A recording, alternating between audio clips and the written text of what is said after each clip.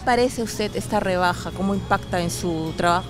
No, me parece bien porque así ya no, ya uno puede echar un poquito y aparte de la situación económica, ¿no? Lo que se encuentra también pues, es buena. ¿Qué le parece a usted esta rebaja? Me parece excelente. ¿Qué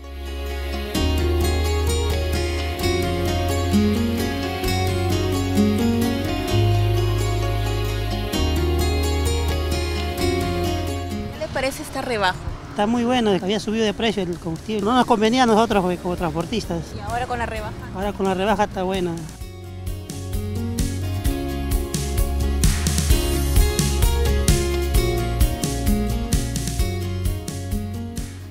Gobierno del Perú. El Perú primero.